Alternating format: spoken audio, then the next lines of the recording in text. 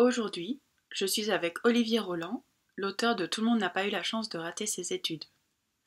Olivier Roland est, comme le titre de son livre l'indique, très critique à l'égard du système scolaire français.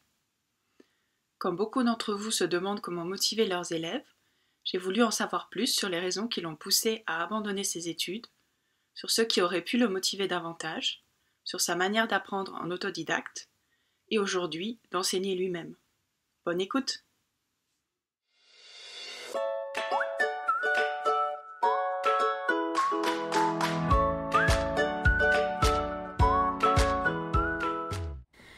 Bonjour Olivier Roland. Bonjour. Merci euh, beaucoup d'être là, d'accepter de, répondre à mes questions. Bah oui, de rien. Merci de euh, m'avoir invité. de rien. Euh, j'aimerais savoir si tu pourrais te présenter brièvement pour, pour mon audience qui ne te connaît peut-être pas forcément. Oui, tout à fait. Bah, écoute, donc, je suis Olivier Roland. J'ai quitté l'école à 18 ans pour créer ma première entreprise, une entreprise de services informatiques. Et aujourd'hui, j'aime bien dire que je suis prof de liberté, puisque bah, j'enseigne à des milliers d'entrepreneurs dans toute la francophonie comment créer, développer leur business avec les outils du web et comment faire en sorte de ne pas se tuer la tâche et d'avoir un bon équilibre de vie parce que c'est le problème de beaucoup d'entrepreneurs. Ils créent leur euh, entreprise pour devenir libres et puis beaucoup d'entre eux malheureusement se rendent compte que quelques années après qu'en fait ils se sont plutôt créés une prison parce qu'ils travaillent 60-70 heures par semaine dedans, ils prennent très peu de vacances et ils ne voient pas trop euh, bah, comment euh, sortir de ce cycle-là en fait, comment diminuer leur temps de travail sans mettre en péril la rentabilité, comment à vendre leur entreprise ou avoir d'autres sources de revenus. Donc ils, se sentent un petit peu prisonniers de ça. Et euh, j'aime bien dire que j'ai un bac moins 2, euh, puisque voilà, j'ai arrêté l'école avant le bac, euh, ce qui ne m'a pas empêché d'avoir ben, aujourd'hui d'avoir un, beau succès, d'avoir une entreprise qui fonctionne bien. J'inspire des centaines de milliers de personnes tous les mois. J'ai la plus grosse chaîne aujourd'hui YouTube en francophonie sur l'entrepreneuriat. Et, et, voilà. Et je suis l'auteur d'un livre qui s'appelle Tout le monde n'a pas eu la chance de rater ses études. Mhm, exactement. Et je crois que d'ailleurs, euh, tu viens de sortir une réédition avec une préface de Xavier Niel dont tu es assez fier. C'est un modèle oui, tout à fait, ouais. C'est un modèle pour toi, euh, Xavier bah, Niel? Bah, je suis très content que Xavier Niel euh, ait accepté d'écrire la préface de la seconde édition euh, parce qu'on a beaucoup beaucoup de points communs en fait. Euh, alors j'ai pas démarré dans le Minitel Rose comme lui, mais ce qui, ce que, enfin, ce qui, il, a, il a quitté l'école très jeune. Il faut savoir que Xavier Niel, lui, alors il a quand même fait plus que moi puisqu'il a le bac, mais il a arrêté l'école à 20 ans pour se consacrer à, à sa première entreprise. Et donc c'est un entrepreneur dans l'âme et il a évidemment apporté énormément, énormément de valeur. Euh, c'est grâce à Xavier Niel qu'en France et dans beaucoup d'autres pays européens, euh, les prix euh, des abonnements Internet et des forfaits téléphoniques sont parmi les plus bas du monde. Il suffit de se balader aux États-Unis, au Canada ou dans beaucoup de pays pour se rendre compte à quel point les abonnements sont beaucoup plus chers dans ces pays-là. Et il est, comme moi, très critique du système éducatif, mais il se contente pas, euh, enfin, nous, nous, ne contentons pas de, critiquer le système, on propose aussi des solutions, on montre euh, eh bien, comment euh, combler les carences du système. Xavier Niel, il est connu pour avoir créé une école qui s'appelle l'école 42 à Paris, qui est en train de faire des petits, parce que je l'ai rencontré récemment, il m'a dit que il y allait avoir 21 écoles ouvertes dans le monde entier d'ici la fin 2020. et c'est une école qui est bâtie sur un modèle qui complètement différent de celui qu'on trouve dans le, système éducatif classique, puisqu'il euh, n'y a pas de prérequis pour rentrer dans l'école. Enfin, il faut juste avoir 18 ans. Donc, euh, que vous ayez un, doctorat en physique nucléaire ou que euh, vous, vous, ayez un bac moins 2 comme moi, ça n'a absolument aucun problème, aucune incidence. ce qu'il faut, en fait, c'est juste être malin, être capable de passer les tests d'entrée et puis surtout avoir de la volonté, être débrouillard. Il n'y a pas de prof dans cette école, ce sont les élèves qui s'organisent eux-mêmes.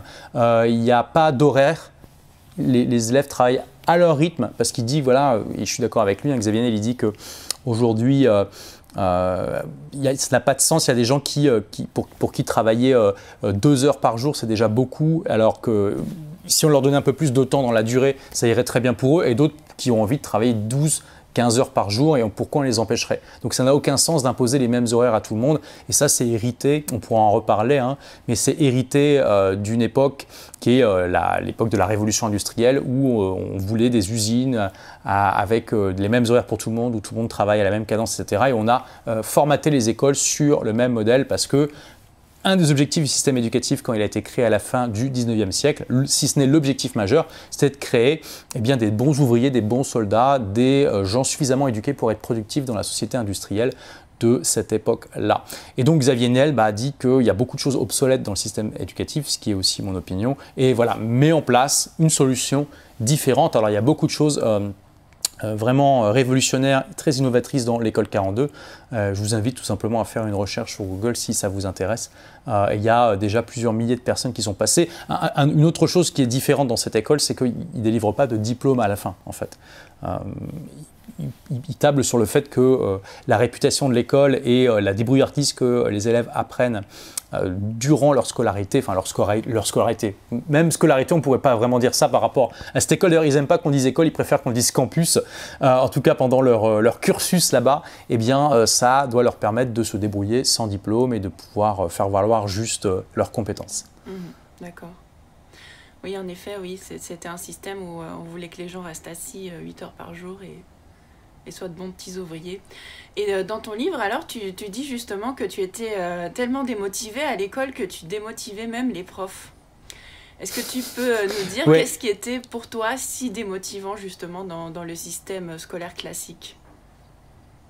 Oui, alors effectivement, j'aime bien partager cette anecdote, comme tu l'as dit. En fait, je me suis fait convoquer par le directeur du lycée qui m'a dit ça, qui m'a dit Olivier, vous êtes tellement démotivé que vous démotivez les profs. Il m'a même dit il y a des profs qui ne veulent plus aller faire cours quand vous êtes dans la salle. C'était à ce point-là, tu vois.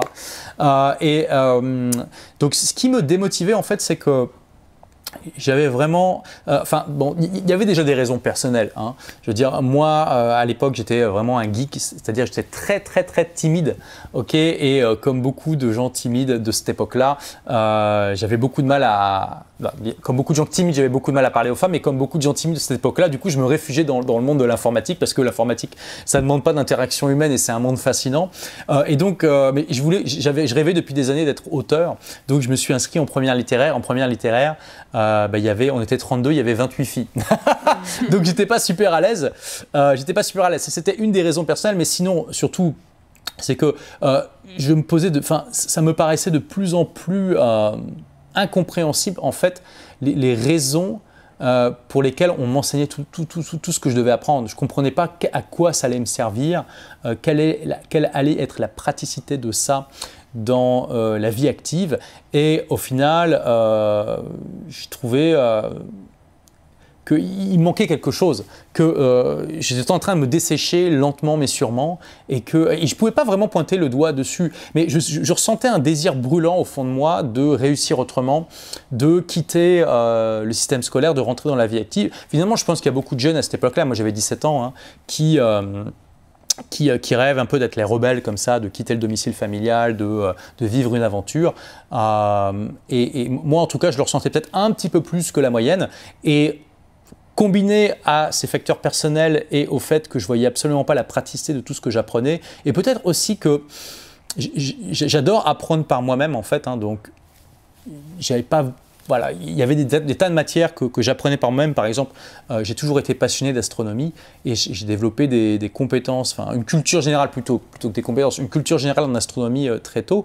Euh, et je me rappelle que j'étais choqué parfois par les bêtises que les profs pouvaient dire dans le domaine astronomique. C'était absolument impressionnant. Je me rappelle de, du prof d'histoire géo, alors je ne sais pas pourquoi il s'est mis à parler de ça, euh, qui a dit qu'on envoie, qu'il y avait euh, la sonde Voyageur, qui est une des sondes aujourd'hui les plus loin jamais envoyé par l'homme, euh, qu'on est en train de la diriger vers un trou noir, ce qui est absolument pas vrai parce que le plus proche trou noir, il est à des dizaines, des dizaines de milliers d'années de temps de voyage de cette sonde. Euh, et je me suis dit, mais comment on peut raconter des âneries pareilles? Enfin bon, tu vois, il y, avait tout un tas de facteurs euh, qui font que je me sentais vraiment démotivé. Et ça, et puis il y avait plein de choses aussi sur lesquelles je ne pouvais pas mettre le doigt et que je vois plus précisément aujourd'hui.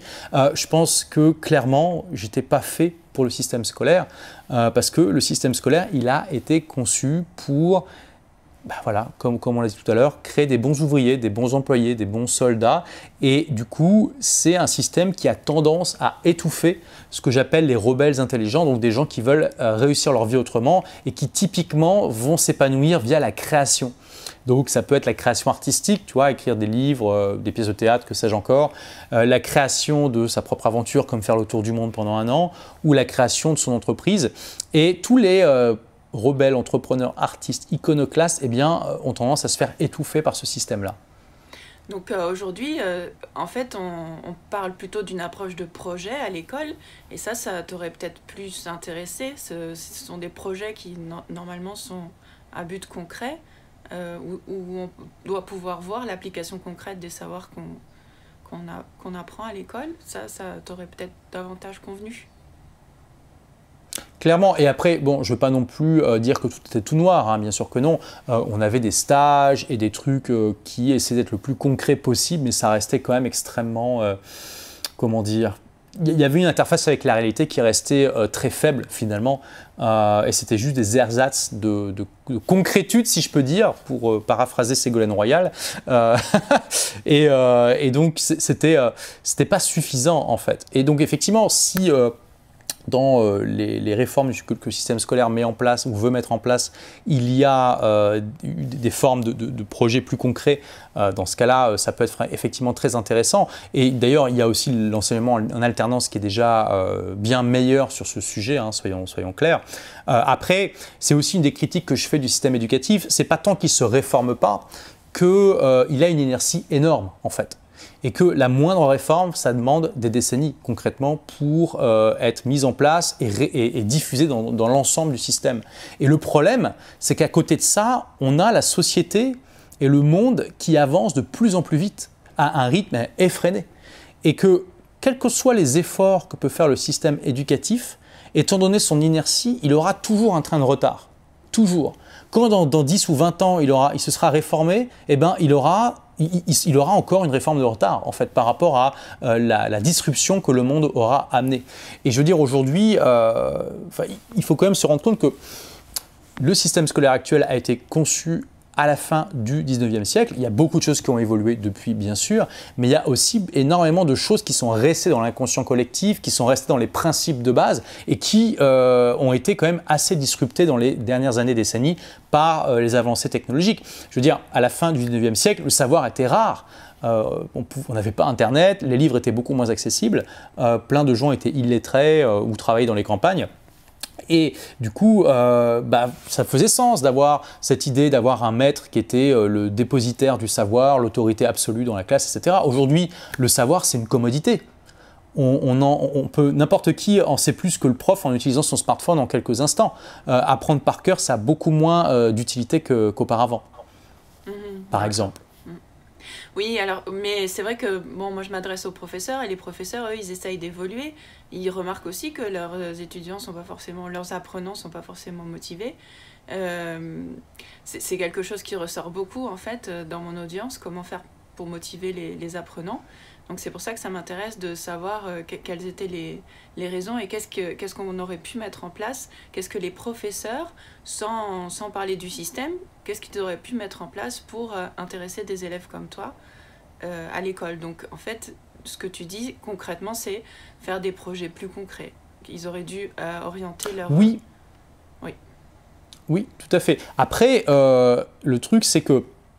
Le, problème des, gens qui sont entrepreneurs dans l'âme comme moi, c'est que la très grosse, grosse, grosse, grosse majorité des profs ne sont pas entrepreneurs dans l'âme.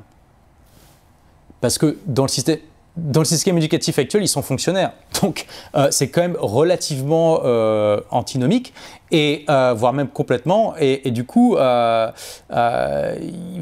question aussi à se dire, c'est que c'est pas forcément le prof qui est le mieux placé pour motiver certaines personnes. Bien sûr que le prof a un rôle très important à jouer dans la société, mais il ne faut pas non plus qu'il se croie comme une vache sacrée intouchable qui, euh, doit absolument aider les gens. Enfin, euh, un bon prof peut aussi reconnaître ses limites et plutôt orienter euh, certains élèves qui justement ne rentrent pas dans le moule vers des sources d'apprentissage qui vont lui convenir et qui passent pas par lui forcément. Donc quelqu'un qui par exemple est, est, intéressé par l'entrepreneuriat, eh ben, peut plutôt lui recommander d'aller suivre les vidéos YouTube ou les, ou les bouquins d'entrepreneurs qui expliquent comment euh, bah, ils se sont lancés, comment ils ont réussi, etc. Euh, tu vois, de, savoir repérer des profils qui ne sont pas des profils de prof, mais qui sont capables de motiver l'élève. Euh, et bien sûr qu'après, le prof, lui, peut aider de différentes manières sur, d'autres sujets. dans mon cas, ça aurait été plutôt ça. Moi, ce qui m'aurait intéressé, c'est de rencontrer d'autres entrepreneurs, de pouvoir bah, leur poser des questions et tout ça. Et finalement, cette démarche, je l'ai fait par moi-même. Quand j'ai décidé de, me lancer dans, mon projet de création d'entreprise, je, me suis renseigné pour me faire accompagner par les organismes d'accompagnement euh, locaux euh, euh, et, ça m'a permis de rencontrer justement des entrepreneurs qui étaient passés par exactement les mêmes étapes que moi. après, moi, je, représente une catégorie qui est finalement assez minoritaire, bien sûr. tout le monde ne veut pas créer son entreprise aussi jeune. donc, pour répondre à ta question de manière plus large, euh, et j'ai bien conscience qu'il y, y, a aussi des problèmes de moyens hein, à l'école. Euh, mon, propos n'est pas du tout de jeter la pierre aux profs, absolument pas. Moi, ce que je critique, c'est le système dans son ensemble. Et je sais bien qu'il y a des tas de profs qui euh, essayent de, bah, de, faire de leur mieux avec les moyens qu'ils ont. Et d'ailleurs, il y a pas mal de profs qui ont lu mon bouquin et qui m'ont dit qu'ils étaient complètement d'accord avec moi et qu'ils faisaient tout ce qui était en leur pouvoir pour essayer de contourner les limites du système éducatif. Donc, je pense que quand même une des clés fondamentales, et qui est une des grosses, grosses, grosses, grosses, grosses carences du système éducatif aujourd'hui, ça fait longtemps que c'est le cas, c'est qu'il y a plein de jeunes aujourd'hui qui sortent du système euh, avec leur diplôme en poche et qui sont persuadés, souvent assez inconsciemment, hein, que, euh, dire, ils ont, c'est diffus comme, comme, euh, comme persuasion. Ils ne se sont pas dit ça concrètement, mais ça fait partie des, de l'inconscient collectif, qu'on leur, des valeurs inconscientes qu'on leur, qu'on leur communique dans l'école. C'est qu'une fois qu'ils ont leur diplôme, ils n'ont plus besoin d'apprendre. Et il y a des tas de gens qui n'ont pas ce réflexe de continuer leur apprentissage tout au long de leur vie. Et c'est un, c'est vraiment une erreur dramatique. C'était déjà le cas il y a 100 ans, et aujourd'hui, ça l'est encore plus parce qu'on peut, peut garantir à personne aujourd'hui que son métier existera encore dans 30 ou 40 ans. Et même s'il existe encore, il sera probablement profondément chamboulé par l'arrivée de nouvelles technologies. On a vu ce que ça a donné Internet en 20 ans, ça a été juste révolutionnaire. On a vu ce que ça a donné l'informatique en 30, euh, 30 ans, grosso modo, hein, l'informatique personnelle bon, on va dire 35 ans aujourd'hui, euh, ça, aussi, ça a été une révolution absolument incroyable. Et on en a plein d'autres qui vont arriver dans les années, les décennies à venir. Euh, et donc, c'est super important, en fait, de donner le goût d'apprendre aux élèves plus que le fruit de l'apprentissage ou l'apprentissage en lui-même en fait, euh, que de, rendre les élèves autonomes dans leur apprentissage, qu'ils aillent chercher par eux-mêmes les euh, sources d'information plutôt que de juste se distraire. Je pense que ce serait vraiment euh, un point clé aujourd'hui d'un bon prof, c'est qu'il encourage les élèves à aller sur YouTube pas seulement pour se divertir, mais aussi pour aller chercher des choses intéressantes qui peuvent les aider concrètement et faire en sorte que bah, progressent dans les domaines qui les intéressent et que ça devienne un réflexe pour que quand euh, ils, sortent du système, bah, ils aient toujours cette envie, cette, euh, habitude d'apprendre en permanence pour pouvoir s'adapter au monde. Euh, parce que sinon, bah, il y, a des risques que euh, ces, élèves, à l'avenir, ils se retrouvent parmi des gens qui défilent dans la rue pour, défendre un métier qui n'existe déjà plus, en fait. Que, que, ces gens-là, ces élèves-là se réveillent un jour et qu'ils se rendent compte que leur métier n'existe plus et qu'ils euh, ont un an ou six mois pour trouver une solution pour euh, changer complètement de carrière. Parce que c'est ça, le, monde du 21e siècle va demander de plus en plus de souplesse et d'adaptabilité. Avec l'arrivée des intelligences artificielles, il va y avoir beaucoup, beaucoup, beaucoup de métiers qui vont être complètement chamboulés. Aujourd'hui, juste pour donner un exemple parmi des tas d'autres, hein, euh, les gens qui sont en train d'apprendre, euh, de faire des études de langue pour devenir interprète ou traducteur, mais clairement, ils vont devoir changer de métier avant qu'ils arrivent à la retraite, c'est sûr. C'est sûr. Aujourd'hui, on a déjà une qualité de traduction avec des logiciels comme DeepL qui sont juste époustouflantes. Euh, il y a un livre sur l'intelligence artificielle qui a, il y a deux ans déjà, ou, un, ou 18 mois, quelque chose comme ça, de 1500 pages qui a été traduit en 6 heures par une IA.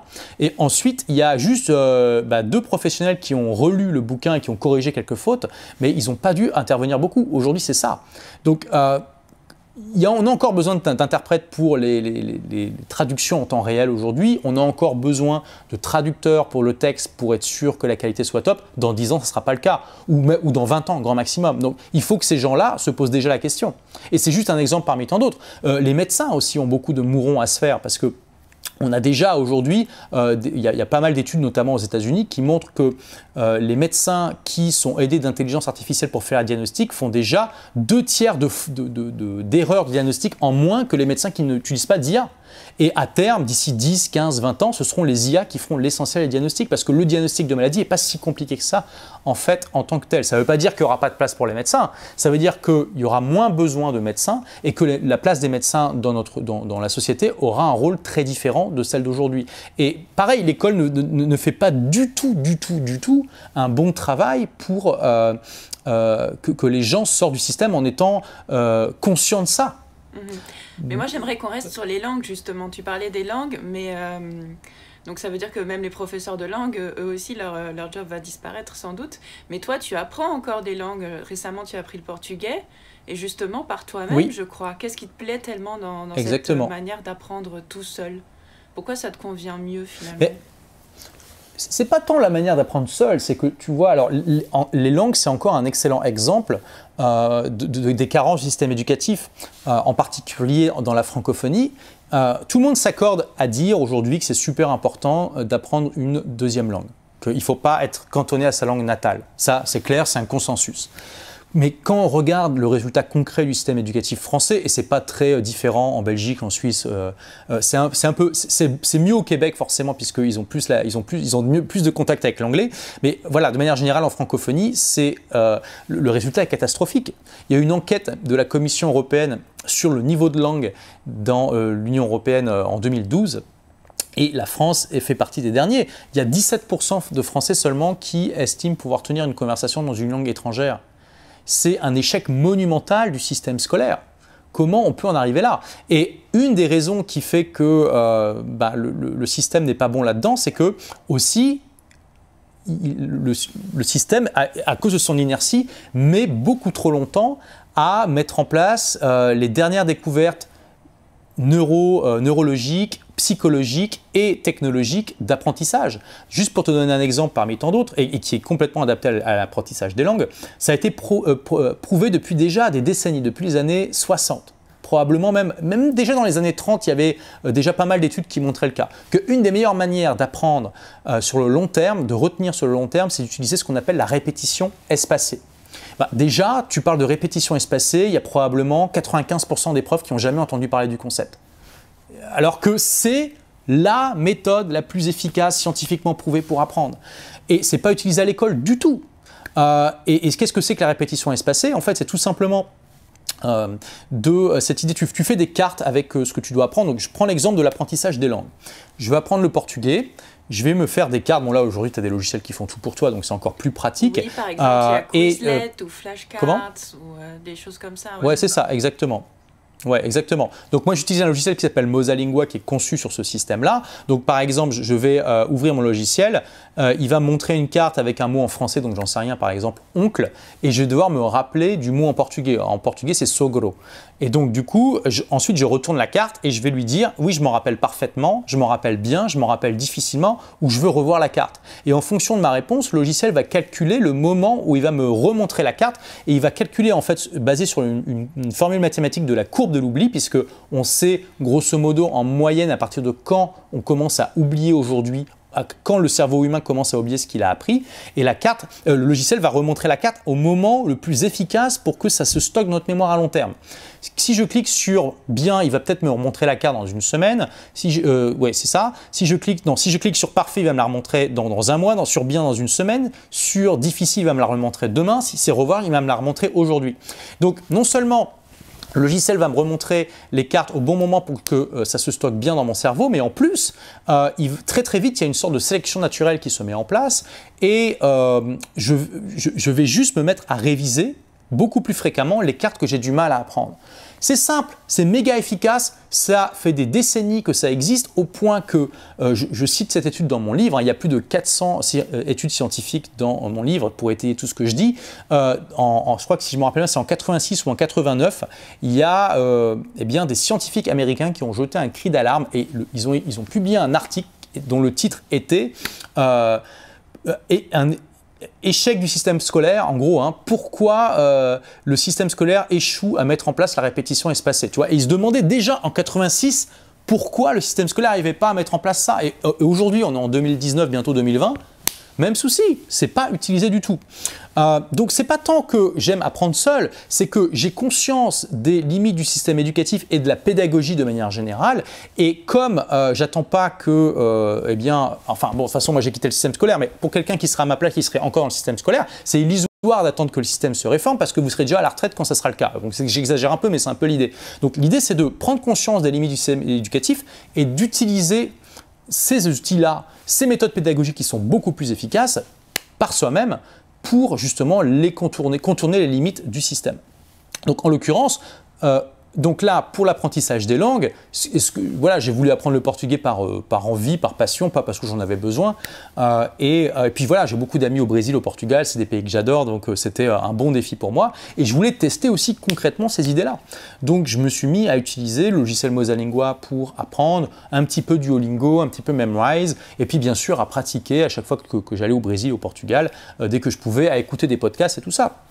Et euh, voilà, aujourd'hui, alors que j'ai consacré à peu près 10 minutes d'apprentissage par jour euh, là-dessus, euh, bah voilà, j'ai donné une conférence là il y a un mois et demi, deux mois au Portugal d'une heure devant 500 personnes et j'ai jamais vécu dans un pays lusophone. Donc quand, quand, je regarde le niveau que j'avais au bout de 4 ans de scolarité en anglais, bah, clairement c'est beaucoup plus efficace.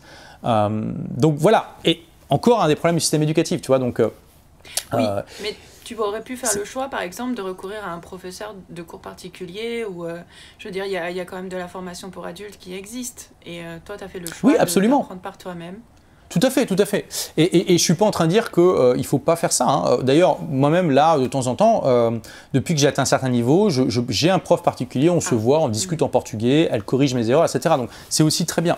Euh, mais clairement, c'est plus efficace d'apprendre les bases dans, dans ce, dans ce niveau-là par soi-même, parce que le, système de, de, de, répétition espacée est beaucoup plus efficace que ce qu'un prof pourrait faire comme cours, en fait. Euh, et puis, euh, d'apprendre les bases et de discuter après avec le prof, de, de, lui poser des questions, qui, qui, qui corrige, etc. Donc, je ne suis pas en train de dire que c'est plus efficace tout seul. Je suis en train de dire que euh, il faut savoir rendre les élèves autonomes. En leur enseignant ce genre de choses, en leur faisant prendre conscience des limites du système éducatif, et pour beaucoup de profs, c'est un peu schizophrénique et c'est compliqué pour eux de faire ça. Déjà, la plupart n'ont pas conscience de ces problèmes-là, donc ça, c'est un autre sujet. Euh, et, euh, et d'essayer de, de, faire en sorte que ce soit une co-création, en fait. Parce que tu vois, beaucoup trop de profs sont dans une démarche qui est héritière de cette approche du 19e siècle que le prof est le dépositaire du savoir, que c'est lui l'autorité suprême. Il faut arrêter avec ça. Le prof aujourd'hui, c'est un co-créateur de l'éducation de, l'élève. C'est tout. Enfin, c'est tout et c'est déjà pas mal, j'ai envie de dire. C'est même, même, un rôle extrêmement important. Et son rôle, c'est de lui faire prendre conscience à l'élève de ça et qu'il euh, doit être autonome dans son apprentissage et que le maître, enfin le maître, faut pas dire le maître justement, mais le prof est là pour accompagner cette démarche, pour l'aider, pour déboucher les angles morts, pour accélérer certaines choses, etc. etc. Euh, et ça, c'est ce qui manque clairement au système aujourd'hui, euh, et je pense aussi à l'approche de euh, pas mal de profs, et non pas qu'ils pensent à mal, hein, encore une fois, mais simplement, voilà, c'est tout ça, c'est une inertie, un héritage, des, des, croyances qui se sont transmises de génération en génération, souvent de manière inconsciente, etc. etc. Oui, je comprends tout ça, mais c'est vrai que je pense que mon audience, justement, si, euh, elle regarde, euh, si elle lit mon blog, si elle regarde mes vidéos, c'est précisément qu'elle a envie de se former, de continuer à, à, se former, justement, ce que tu disais, et à essayer de nouvelles techniques en cours. Donc, euh, c'est pas, pas justement euh, ces profs-là qui ne sont pas au courant des, difficultés. Ah mais complètement, mais mm. c'est clair. Mais je, pense, je ne sais pas ce que tu en penses, mais à mon avis, c'est plutôt une minorité, tu vois. Euh, et, je te dis, il y a, y, a, y a, plein de profs qui m'ont qui m'ont écrit ou que j'ai rencontrés qui m'ont dit qu'ils étaient d'accord avec, euh, avec mon bouquin. Alors, j'ai pas eu entendu trop de critiques de profs par rapport à ce que je dis dans mon livre. Je ne sais pas si c'est parce que les profs qui sont contents du système vont pas lire un bouquin qui s'appelle Tout le monde n'a pas eu la chance de, rappeler, de, de rater ses études. Il y a peut-être, tu vois, un biais déjà par rapport à ça ça, ou si, euh, je sais pas, je sais pas pourquoi, mais voilà. donc euh, voilà. Et quand j'ai fait, euh, j'ai euh. récemment fait une dédicace à, Bruxelles, et c'était intéressant parce qu'il y avait pas mal de profs dans l'assistante. J'ai fait un mini, une mini conférence slash.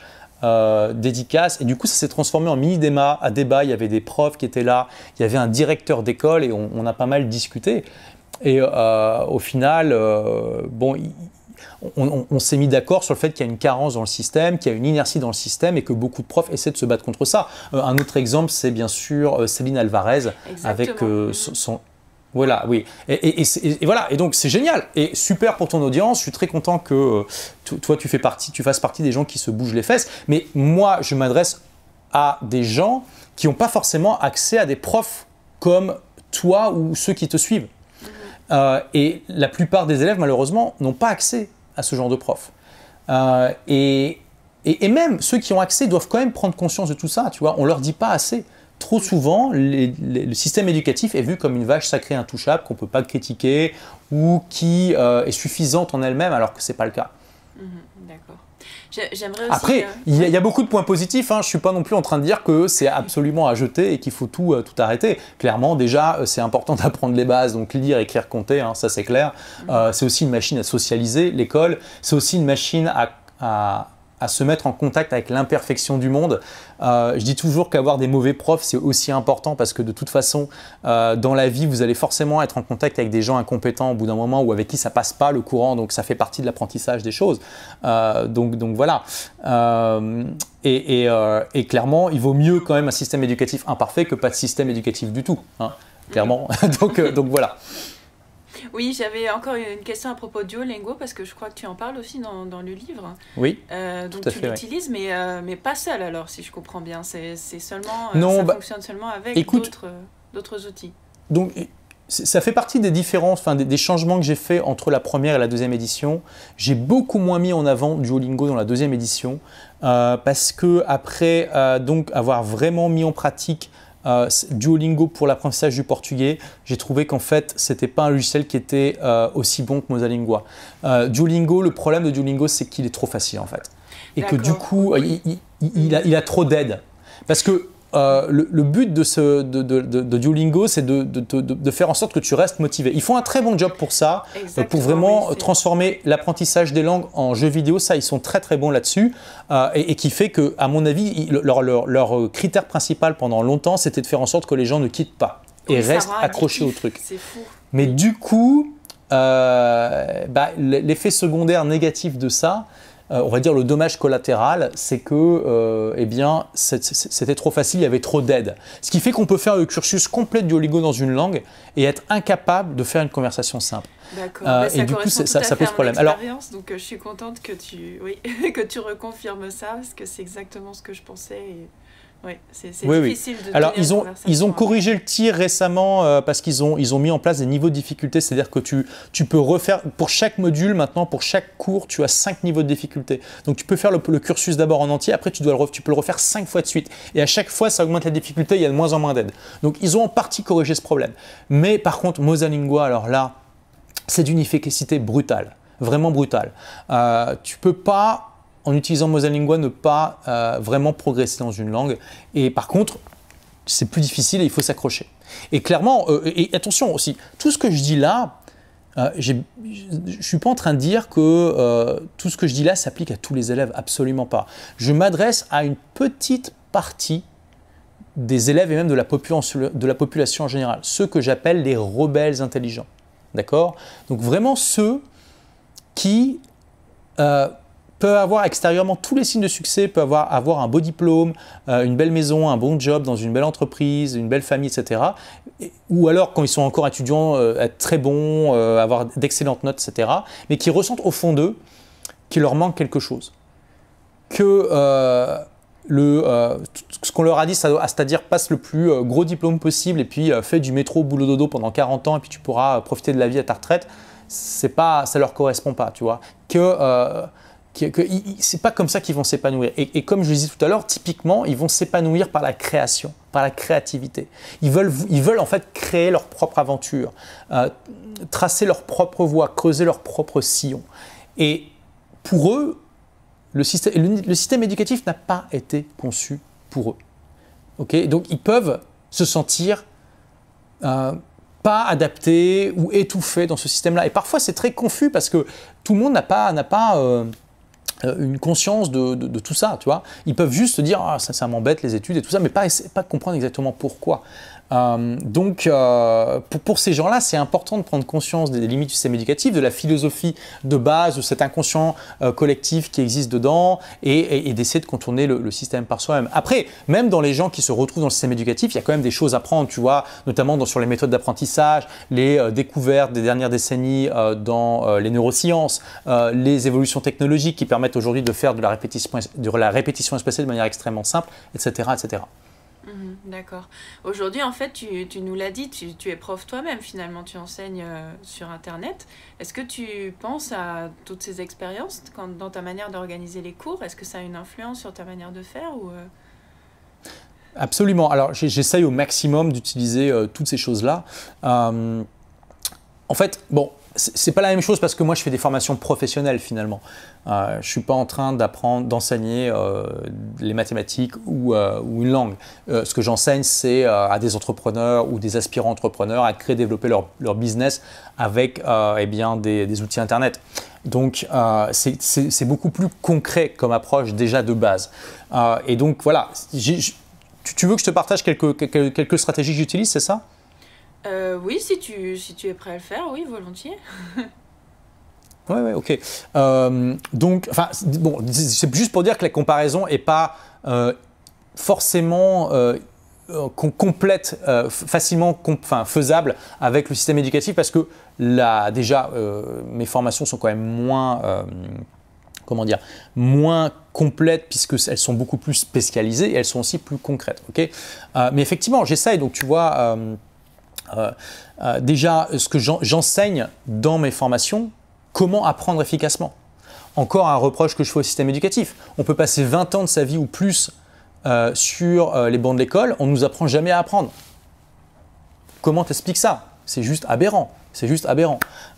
et donc j'enseigne dans mes formations, voilà, comment, comment bien suivre cette formation. J'apprends aussi, j'enseigne aussi comment rester motivé, c'est extrêmement important. Voici des techniques pour rester motivé tout au long euh, euh, de, ce cursus. Euh, vous allez avoir des moments où vous allez être démotivé. Voici comment faire quand ça arrive.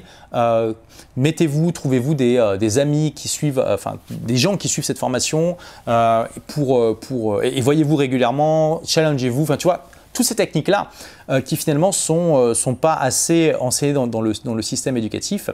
Euh, et puis surtout, c'est extrêmement concret.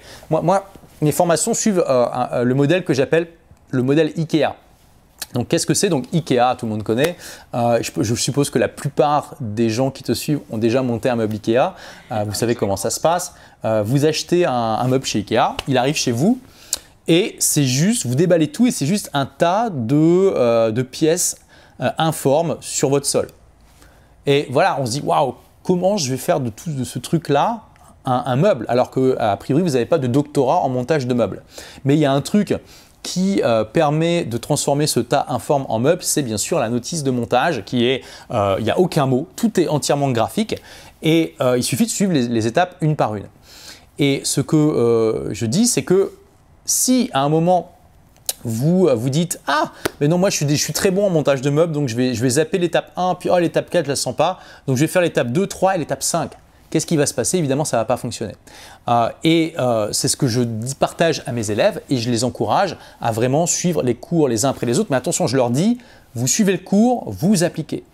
Et vous ne pouvez pas suivre le cours qui suit tant que vous n'avez pas appliqué le premier et encore une fois, là, ça fonctionne comme méthodologie parce que ce sont des cours concrets.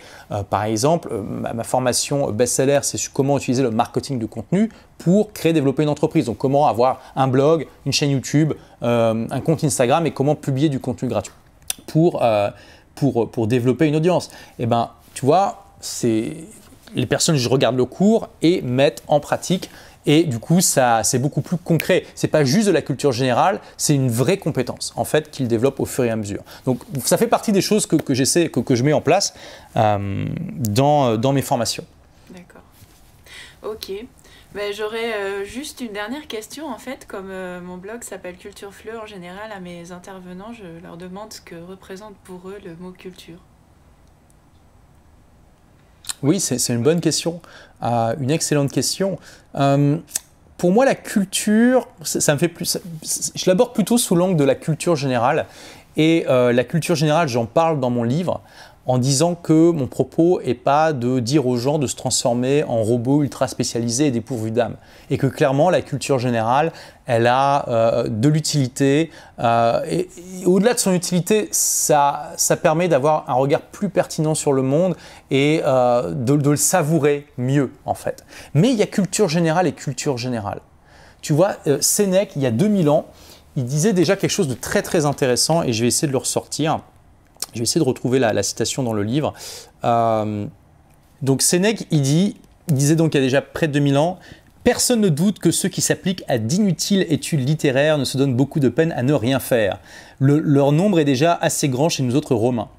C'était la maladie des Grecs de chercher quel était le nombre de rameurs, des rameurs d'Ulysse. Si l'Iliade fut écrite avant l'Odyssée, si ces deux poèmes étaient du même auteur et d'autres questions de cette importance qu'elle est gardée pour vous ne peuvent vous procurer aucune satisfaction intérieure et que vous ne sauriez communiquer aux autres sans leur paraître non pas plus savant mais plus ennuyeux. Et, là, je trouve que c'est une très très bonne critique de la culture générale euh, qui, va trop loin en fait. Euh, c'est-à-dire que la culture générale, c'est top, à condition de rester mesuré et de ne pas se perdre dans des détails inutiles qui, comme le dit Sénèque, n'apportent rien à l'âme et ne peut pas être partagé sans qu'on ait l'air plus ennuyeux en fait. Donc euh, c'est une limite, euh, c'est un équilibre à trouver qui n'est pas forcément facile euh, et, je trouve d'ailleurs qu'en général l'école ne fait pas un très bon job là-dedans. On, enseigne des, choses à des élèves qui clairement ne leur serviront jamais. Jamais. Euh, on, leur dit oui, mais ça forme ton esprit, oui, mais du coup tu vas pouvoir avoir un large aperçu des choses et pouvoir faire ton propre choix. Alors pourquoi pas? Euh, mais ce serait aussi une critique que je fais quand même, que de manière générale, ça manque assez de praticité qu'on pourrait dans une culture générale qui apporte davantage de choses à l'âme. D'accord. Ok, très bien. Ben, merci beaucoup, Olivier. Merci Marianne de, m'avoir reçu et puis bah voilà, j'espère que euh, ça a inspiré euh, certaines des personnes qui te suivent euh, peut-être pour explorer des nouvelles manières d'interagir avec les élèves, de les motiver, etc. Mhm, très certainement, oui. Mhm, merci beaucoup. Et voilà, c'est tout pour aujourd'hui. J'espère que cette interview vous a plu. Si c'est le cas, n'hésitez pas à me le dire en commentaire et à vous abonner à la chaîne, tout en cliquant sur la cloche pour activer les notifications quand les nouvelles vidéos sortent. On se retrouve la semaine prochaine avec une vidéo truc de prof. Et d'ici là, bon cours